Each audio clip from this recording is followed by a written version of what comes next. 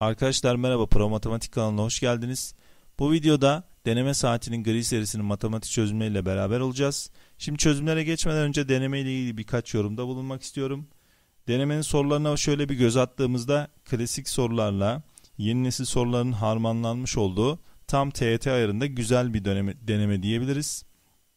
Şimdi e, denemenin genel cevap anahtarı ile ilgili ya da PDF ile ilgili herhangi bir isteğiniz varsa bana Matematik Pro Instagram hesabından yazarsanız size geri dönüş yapacağıma emin olabilirsiniz. Şimdi yavaş yavaş soruların çözümlerine başlayalım. İlk soruda demiş ki aritmetik işlemlerin yer aldığı bir işlem şemasında oklarla çemberlerden oluşmuş şekiller aşağıdaki gibi oluşturulmuştur. Şimdi bu çemberin içindeki sayıya bu oklarla gösterilen işlemleri yazarak diğer çemberin içine sayıları yazarak ilerliyoruz. Ne diyor? Yukarıda verilen şemadaki çemberlerin içine bu sayıları her çembere farklı bir sayı gelecek şekilde yerleştirildiğinde A ile B'nin toplamı kaçtır diye sormuş. Şimdi burada şöyle başlamak istiyorum. Şuradaki iki kat bizim işimizi kolaylaştıracak. Şuraya şu çembere hangi sayıyı yazarsam tam iki katını buraya yazmam gerekiyor. O zaman burada birbirinin iki katı olan iki sayı arıyorum. 8'de 16 var bir de 9'da 18 var. Şimdi ben buraya 9 yazmış olsam buraya iki katı 18 yazacağım. Sonra iki fazlasını B'ye yazmam lazım. Yani B'nin 20 olması lazım. Ama bu bize verilen sayılar arasında 20 diye bir sayı yok. Demek ki burası 9 olmayacak. 8 olacakmış. 2 eksiğini buraya yazıyoruz. 6 olacak. 3 fazlasını buraya yazıyoruz. A 9 oldu. 2 katını buraya yazdık. Burası 16 oldu. 2 fazlasını buraya yazdık. Burası da 18 oldu. Şimdi ben A ile B'yi de bulmuş oldum. Buradan A artı B'nin toplamını 9 artı 18'den 27 olarak yazabilirim. İkinci soruda köklü sayı sorusu aşağıdaki kutuların içine bu sayıları her kutuya farklı bir sayı gelecek şekilde yerleştirildiğinde e, eşitlikler sağlanmaktadır diyor. Yani çarpımların hepsi aynı sonucu A sayısını veriyormuş. Buna göre A sayısı kaçtır diye sormuş. Şimdi hepsinin çarpımı aynı sonucu veriyorsa o zaman şöyle düşünebiliriz. Bir tane en küçük bir tane en büyük sayı alarak ilerlersek aynı sayıyı bulma ihtimalimiz artar. Yani şöyle ki şuradaki sayıya ben kök 12'yi yazmış olayım en küçüğü. Ondan sonra buraya en büyüğü yazarım. Burası da kök 75 olur. Sonra en küçüğün bir yanındaki kök 18'i buraya yazalım. Buraya da en büyükten bir önceki kök 50'yi yazalım.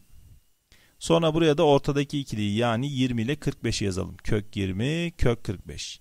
Şimdi bunları çarptığımızda hepsinin 900'e eşit olduğunu görüyoruz. Demek ki mesela 20 ile 45 çarpalım bunlar ne yapacak? Kök 900 yapacak. İşte A dediğimiz sayı buymuş. Kök 900'müş. E 900'ün de 30'un karesi olduğunu bildiğimiz için buradan A'nın 30 olduğu sonucuna ulaşabiliriz. Üçüncü soruya bakalım. Hatice'nin eşit uzunlukta kırmızı ve mavi bölümlere ayrılmış kurdelesi aşağıda gösterilmiş diyor. Bu kurdele üzerinde mavi bölümlerden biri ABCD noktaları kullanarak şekildeki gibi 4 eş aralığa bölünmüş.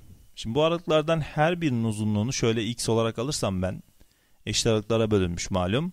Burası şu mavi parçanın 4x olduğunu bulurum. E bu parçanın her biri de eşit uzunluktaydı. Demek ki bizim bir tane parçamız 4x birimmiş diyebiliriz. Şöyle hepsi 4x. Şimdi ne diyor? Hatice kurdelesinin 7 bölü 10'luk kısmını belirleyerek dikey olarak kurdelesini kesmeyi planlıyor.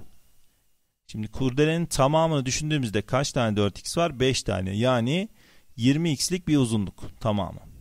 Bunun 7 bölü 10'luk kısmını alırsa 20x'in 7 bölü 10'unu bulalım. 20x'in 7 bölü 10'unu bulursak e, bu ne yapacak? 14x. Tam 14x'lik kısımdan kesmiş olacak. Hatice'nin kurdelesini kestiği nokta aşağıdakilerden hangisidir diyor. Bakarsam 4 burası 4 burası 8 4 de burada var 12. 14x nereye geliyor tam olarak 13 14 şu C noktasına denk geliyor. Demek ki C noktasından kesmesi gerekiyormuş dedik. Dördüncü soruya bakalım. Bir site inşaatı her katında 8 dairenin olduğu 12 katlı 24 binadan oluşmaktadır diyor.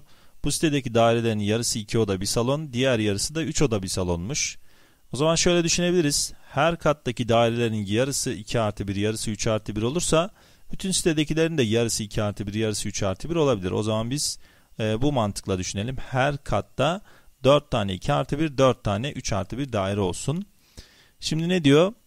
2 artı 1 tipindeki daireler için bir tane dış kapı 6 tane de iç kapı kullanılıyormuş. Yani toplam 7 kapı kullanılıyor. 3 artı 1 için bir dış 8 iç toplamda 9 tane kapı kullanılıyor. Daire için kullanılacak toplam kapı sayısı kaçtır? Şimdi bir kattaki kapı sayısını bulursam bunu genele yayabilirim. Ne demiştik? Bir katta 4 tane 2 artı 1, 4 tane de 3 artı 1 daire olsun. Şimdi 2 artı 1'ler 4 tane ve bunlar için biz 7'şer tane kapı kullanıyorduk. Sonra 3 artı 1'ler de 4 tane bunlar için de 9'ar tane kapı kullanıyorduk. Şimdi burayı 4 parantezine alırsak ne olacak? 7 artı 9. 7 artı 9 olacak. Yani 4 çarpı 16'dan 64. Şimdi bir katta 64 tane 2 üzeri 6 tane biz e, kapı kullanıyormuşuz. Ne oluyordu? 12 tane kat var. Çarpı 12 dersem bu bir tane binadaki e, kapı sayısını bulmuş oluruz. Sonra ben bunu 24 ile çarparsam toplam bütün sitedeki kapı sayısını bulmuş olurum. Zaten benden istediği şey de bu. Şimdi bunu üstü sayı şeklinde yazmamız lazım. 2 üssü 6 dursun. Şurada 12'de 2'nin karesi var bir de 3 var. 24'te 2'nin küpü bir de 3 var. 2 üzeri 6, 2 üzeri 8, 2 üzeri 3 ile çarp 2 üssü 11 olur. Sonra burada da 2 tane 3 var. 3'ün karesi. Demek ki cevabımız 9 çarpı 2 üzeri 11'miş.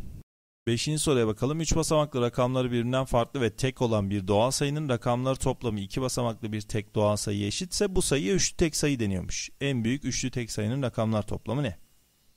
Şimdi en büyük üçlü tek sayı dediğine göre muhtemelen yüzler basamağının 9 olması gerekecek. Sonra onlar ve birler basamağına bakacağız. Bu sayının tek olmasını istiyorduk. Yani birler basamağı tek bir rakam olacak. Şimdi bu tek, yüzler basamağı da tek, toplamları çift. Sonucun tek olması için, rakamlar toplamının tek olması için ortadaki onlar basamağının da tek bir rakam olması lazım. Yani 8 olamaz. O zaman ne olacak? En büyüğü yazmamız için 7 olması gerekiyor.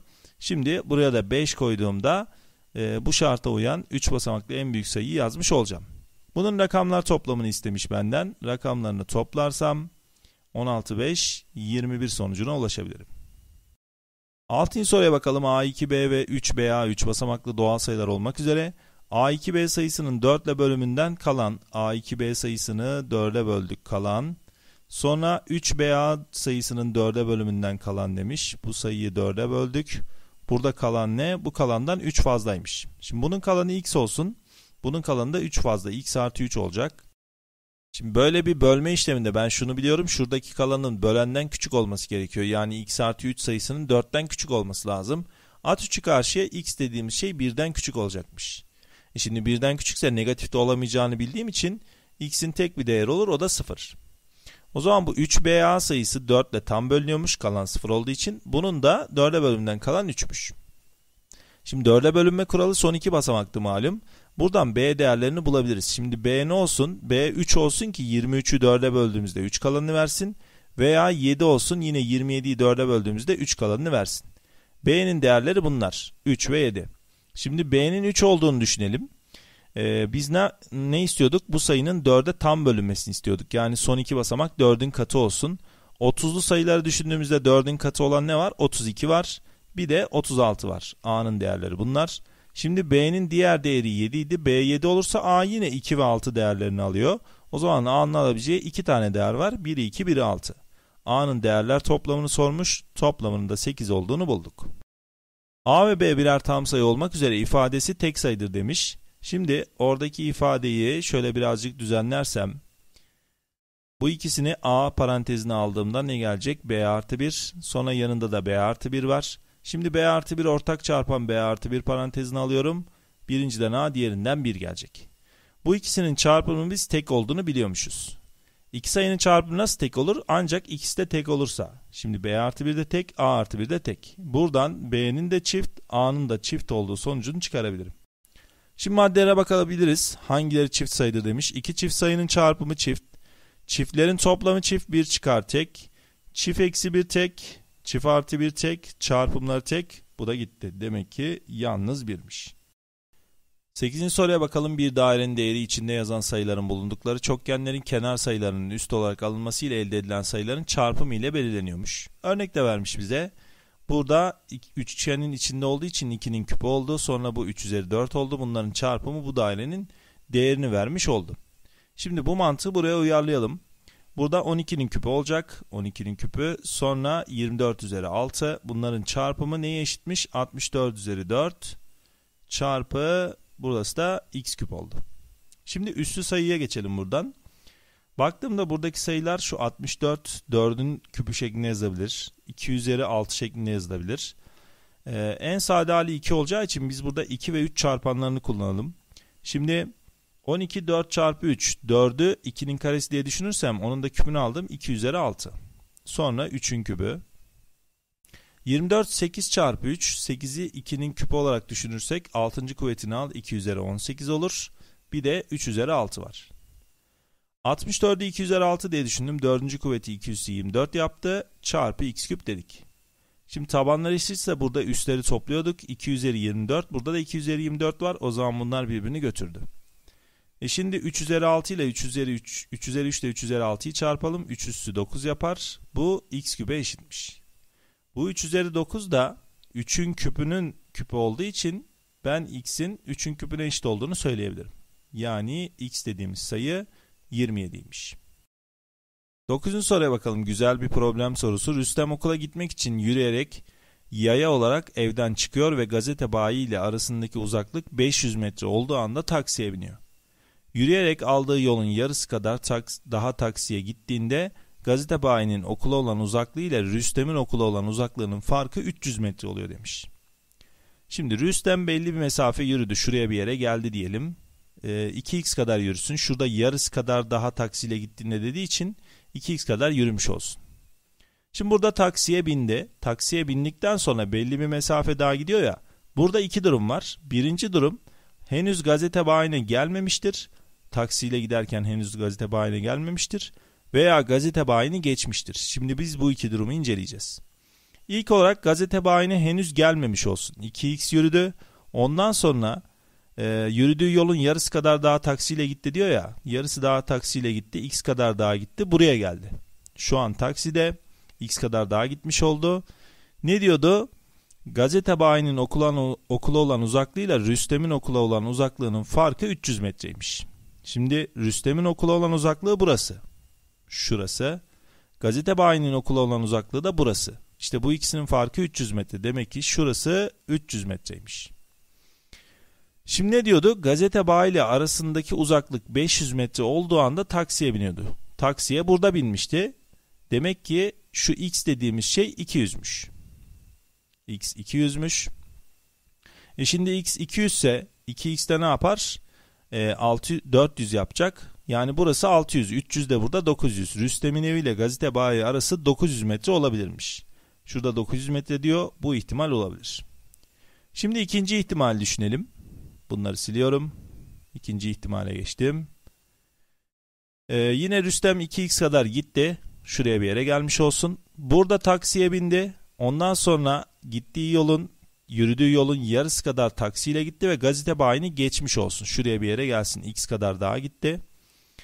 Ee, şimdi Rüstem'in okula olan uzaklığıyla gazete bayinin okula olan uzaklığı arasındaki fark neydi? 300 metreydi. İşte burası 300 metreymiş. E şimdi o zaman şurası da x eksi 300 olur. 2x burada, x eksi 300 de burada. Bunun toplamı ne yapacak? Veya şöyle diyebiliriz. E, ne diyordu? 500 metre olduğu anda taksiye biniyordu. Şurasının 500 metre olduğunu biliyoruz. Oradan gidelim. Daha güzel olur. Şimdi burası 500 metre, burası da 300 metre ise şu x'in ben 800 olduğunu buldum. x 800. Rüstem'in eviyle gazete arasındaki mesafeye bakıyorduk. X 800 ise şurada 1600 yürümüş olacak. 500 de burası var. 1600 artı 500'den ikisinin arasındaki mesafe 2100 metrede olabilir. Demek ki bu mesafe ya 2100 metreymiş ya da 900 metreymiş. 1 ve 3 bizim istediğimiz cevap olacak. 13 soruya bakalım. Aşağıdaki sayı doğrusunda 3 sayı gösterilmiştir. Bu sayı doğrusundan seçilen bir A tam sayısı tam sayısına sayı doğrusunda gösterilen bu 3 sayıdan en yakını 2 iken en uzağı da eksi 4'müş. Şimdi benim seçeceğim A sayısına 2 en yakın olacak. Eksi 4 de en uzak olacakmış. Eksi 4'ün en uzak olması için A'yı buradan bir yerden seçmemiz lazım. O zaman şöyle düşünüyorum. Eksi 4 ile onun tam ortasını alalım. Eksi 4 ile onun tam ortası ne? Topla ikisini 2'ye böl. Ee, ne yapacak? 3 yapacak. Eğer ben A'yı 3 seçersem ne olacak? Eksi 4 ile ona eşit uzaklıkta olmuş olacak. İşte eksi 4'e daha uzak olması için 3'ten sağ tarafta seçmem gerekiyor. En küçük değerini sormuş. O zaman A'nın en küçük değerinin 4 olduğunu söyleyebilirim. 11. soruda K kümesi veriliyormuş. K kümesinin iki ayrık alt kümesi A ve B olmak üzere A ile B'nin birleşimi yine K oluyorsa A ve B kümelerine kardeş küme denir demiş. Eleman sayıları eşit olan A ve B kardeş kümeler için kaç farklı AB sıralı ikilisi yazılabilir? Burada şöyle düşünelim. Eleman sayıları eşit dediği için ve bunları birleştirdiğimizde tekrar K kümesini bulmamız gerektiği için ikisinde de üçer tane eleman olması gerekiyor. Yani A kümesi mesela 1, 2, 3'ten oluşacak. Sonra B kümesi 4, 5, 6'dan oluşacak. Bu kümedeki 6 elemanın 6'sı da bunlarda olması gerekiyor ki birleştirdiğimde tekrar K kümesini bulalım. Ve eş sayıda elemanlar olmasını istiyor. O zaman burada yaptığımız gibi ikisine de üçer tane eleman olacak. Şimdi K kümesinde toplam 6 tane eleman vardı. Ben bu 6 tane elemandan rastgele 3 tanesini seçip A kümesine verirsem, bu A kümesi bu da B kümesi demiştik. Kalan diğer 3 elemanda ne oluyor? B kümesinin elemanlar oluyor. Yani onu seçmemize gerek kalmıyor. Biz A kümesi için 3 tane eleman seçiyoruz ve kalanlar B kümesinin elemanları oluyor. Altın üçlü kombinasyonunu nasıl hesaplıyordum? 6'dan 3 tane açıyorum. Sonra 3'ü 1'e kadar açtım. Ve bu işlemin sonucunun 20 olduğunu bulduk. 12'de pozitif gerçel sayılar kümesi üzerinde tanımlı bir f fonksiyonu her x pozitif gerçel sayısı için bu eşitliği sağlıyor diyor. Buna göre bu işlemin sonucu nedir? Şimdi f6, f7, f5 gibi ifadeler lazım bize. Bunları bulmak için mesela f7'yi bulmak için x yerine bir 6 yazalım. Şu denklemde x gördüğüm yere 6 yazarsam 8 çarpı f7 eksi 6 çarpı f6 eşittir 0 olur. Ondan sonra e, f6 ve f5 gibi ifadeler de lazım bize. f5 için x yerine 5 yazalım. x gördüğümüz yere 5 yazalım. 7 çarpı f6 eksi 5 çarpı f5. Bu da neye eşitmiş? Yine 0'a eşitmiş. Şimdi burada dikkat edelim. F6 artı F7 var. Ben burada taraf tarafa toplama işlemi yaparak bunu elde etmek istiyorum. Ama şu an toplarsam 8 tane F7 artı bir tane F6 olur. 8 tane F6 olsun ki işimize yarasın. O zaman bu alt tarafı 2 ile çarpıp bunları taraf tarafa toplarsam şimdi ne olur? 8 tane F7 burada var. 8 tane F7. Sonra 14 tane F6 eksi 6 tane F6 da burada var. Artı 8 tane F6 olacak. İşte istediğimiz şey buydu. Ve eksi 10 tane F5. Eksi 10 tane F5. Bunların toplamı ne eşit? Sıfıra. E, atalım bunu karşıya. 8 tane F7 hatta burayı da 8 parantezine alalım. 8 parantezinde F7 artı F6 neye eşit olacak? Bunu karşıya atmıştık. 10 tane F5'e. Şimdi F5'i buraya 8'i buraya atarsak bizden istediği şeyin yani F6 artı F7 bölü F5'in 10 bölü 8'e eşit olduğunu rahatlıkla bulabiliriz. Burada da sadeleştirme yaptık ve sonucu 5 bölü 4 olarak bulduk. 13'te aşağıda 6 rakamı ile her bir rakamı 6 olan bazı sayıların çarpımlarının sonucu verilmiş diyor. Şimdi neye dikkat edeceğimizi sorunun devamında görelim. Buna göre 6 ile her bir rakamı 6 olan 60 basamaklı bir sayının çarpımından elde edilen sayının rakamlar toplamı kaçtır? Demek ki bu işlemlerin sonuçlarıyla rakamlar toplamı arasında bir ilişki var. O zaman şöyle rakamlar toplamına bakalım çıkan sayıların. Burada rakamlar toplamımız ne? 18. Burada rakamlar toplamımız ne? 18, 9 doğrudan 27. Burada da 36. Şimdi bakıyorum 2 tane 6 kullanınca 18 çıkmış sonuç. Rakamlar toplamı tabii ki. 3 tane 6 olunca 27, 4 tane 6 olunca da 36. Yani kaç tane 6 varsa 9 katı çıkıyor rakamlar toplamı. E 60 tane 6 varmış. O zaman 60 çarpı 9. Yani çıkan sayının rakamlar toplamı 540 olacakmış. 14. soruya bakalım. Sema'nın her birinde 8, 8 şeker olan A tane şeker paketi vardır. Sema şekerlerinin tamamını 5 arkadaşına eşit olarak paylaştırdığında 4 şekeri, 7 arkadaşına eşit olarak paylaştırdığında 5 şekeri kalıyormuş. Buna göre A'nın en küçük değeri kaçtır diye sormuş. Şöyle düşünelim. Sema'nın toplam şeker sayısını ben neyle göstereyim? K ile göstereyim. Şimdi bu K ne olacak? 8'in bir katı olacak bir kere. Çünkü her birinde 8 tane şeker olan A tane şeker paketi var. 8'in katı olacak. 8'in A katı olsun mesela. Sonra 5 arkadaşına eşit olarak paylaştığında 4 tane şeker artıyormuş. B tane bunun arkadaşı olsun. 5B artı 4 tane olur toplam şeker sayısı. 7 arkadaşına eşit olarak paylaştırdığında 5 şekeri kalıyormuş. E, o zaman da her bir arkadaşına C tane vermiş olsun. 7C artı 5 olacak. Tabi şurada da B tane arkadaş değil de her bir arkadaşına B tane vermiş olacak. Şimdi EBA ve EKOK'ta bu tarz sorular çözüyorduk hatırlayalım. Ne yapıyorduk? Bunlara bir sayı ekliyorduk ya da çıkarıyorduk ve hepsinin katı olmasını istiyorduk. Şimdi ben burada K'ya 16 eklersem yani hepsini 16 eklersem ne olacak? 8A artı 16, 5B artı 20, ondan sonra 7C artı 21 olur. Yani 8'in de 5'in de 7'nin de katı olan bir sayı. Şimdi bana 8, 5 ve 7'nin katı olan en küçük sayı lazım. E bunlar arasında asal olduğu için bunların ekokunu bulurken direkt çarpacağız bunları. 8 çarpı 5 çarpı 7 diyelim. Bu da 40 çarpı 7'den 280 yapacak. Bu k artı 16'nın en küçük değeri 280'miş. E ben buradan k'yı 280 eksi 16 yani 264 bulabilirim. 264 buldum. Bu şimdi toplam şeker sayısı. Bize ne lazım? A lazım. A tane şeker paketin her birinde 8 tane olan A tane şeker paketi var diyor ya 8 çarpı A toplam şeker sayısı yani 264'ü verecek. E her iki tarafı 8'e böldüğümde A'nın ben 33 olduğunu bulabilirim. 15. soruya bakalım. A, B ve C gerçel sayılar için A çarpı B negatif, B eksi A pozitif, C artı A da pozitifmiş. Bu sıralamadan hangisi doğrudur demiş. Şimdi bunların işaretleriyle ilgili bir şeyler bulalım.